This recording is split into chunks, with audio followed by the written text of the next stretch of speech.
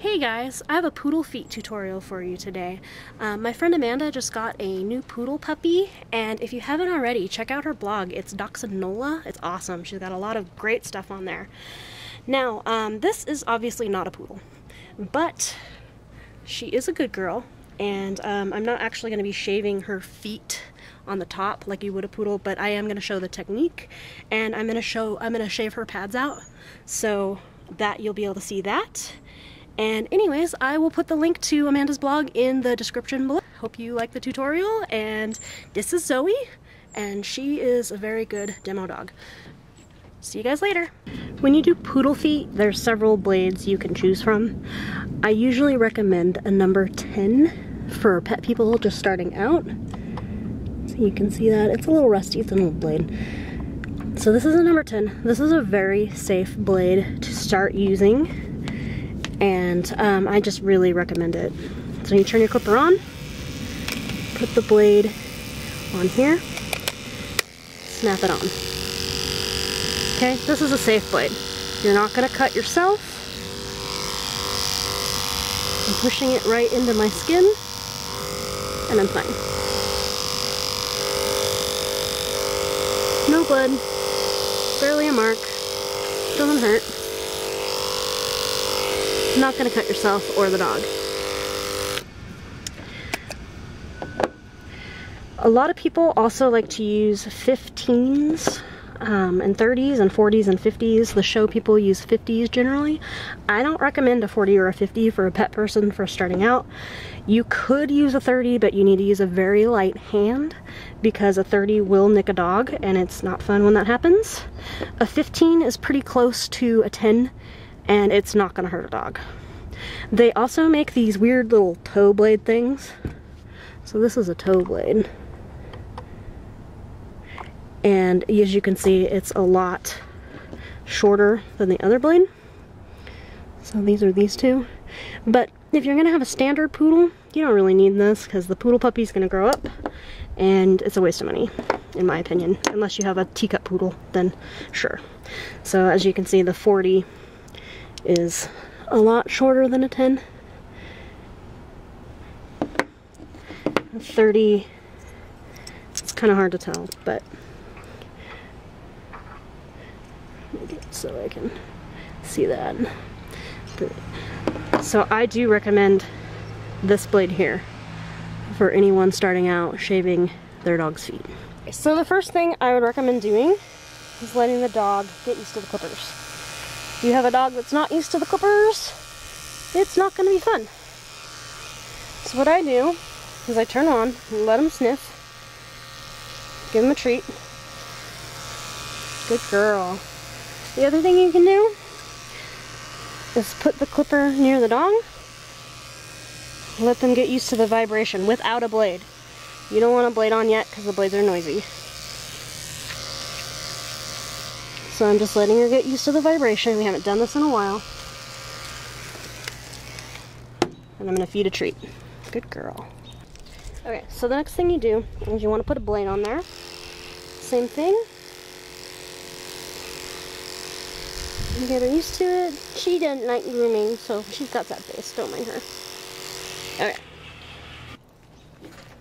Okay. So I start by putting my finger in her paw. Like this. And I spread her toes. You can't see because she's so I spread her toes. And I scoop. So you want to scoop from here? And then you turn the clipper around and scoop in here. Then you go up across the nail. And you want to stop the poodle feet right above where the paws where their split is. So here's the split there. You want to stop it right at that bone right there. Right in the middle of the foot. You don't want to go up to the ankle because then it looks kind of weird. So don't go all the way up to the dew claw. You just want to scoop the foot till about here. If you can see that. So then spread the toes again. And shave. I'm not going to shave because I don't want poodle feet on this dog. But you scoop with the corner of your blade right against the nail and you scoop. because you can see that she has a webbing in there and you want to make sure you don't nick that webbing and you use a very light hand when you're doing this. And it's tickly, she's not used to it, she's not a poodle. Easy, it's okay. You do that on each one. So each time you put your finger underneath and spread and shave. Okay, so now we're gonna do the back side of the paw. Here's her paw. See if I can get you a little closer. Here's her paw. And you can see, see if you can see, wiggle it around. There you go. See how the paw is a V shape? You want to also shave in a V shape. You stick your clippers in at an angle. So I'll show you, I'll actually shave this. So I do right here like this first. And then I scoop in and scoop in like that. With the very corners of my blade. I'm not using a lot of pressure.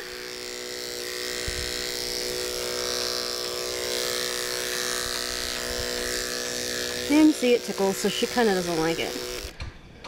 But that's what it looks like when it's done. And you can see I didn't take that much hair off. But it just cleans it up a little. I can show you on the other paw too. So here's the paw. And take the hair off between the toes. And if you're doing a poodle foot, you can also spread the feet this way and go in and then go in on this side and go in on this side. There's some um, sap there, so I'll show it off.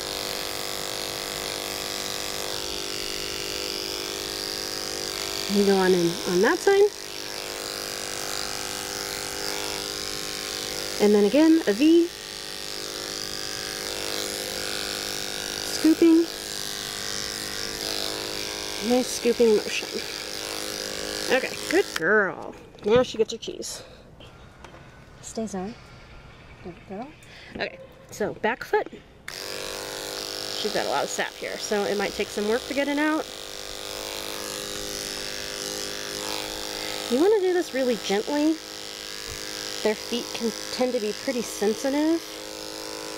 The back foot, again with the poodle feet, spread it. You put, I usually use my middle finger and I just kind of stick it in there and I just scoop scoop.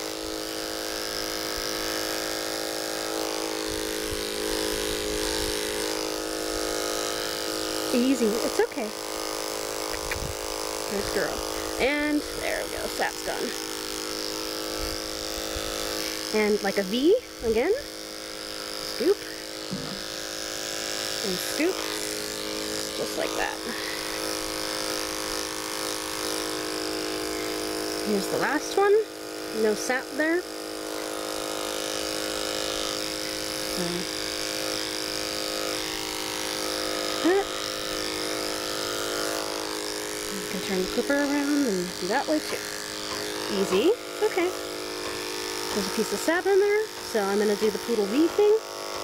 And the poodle scooping, poodle foot thing, I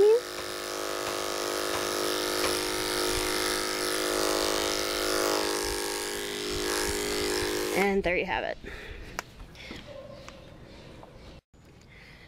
Guys, that was my tutorial on how to do poodle feet on a non-poodle.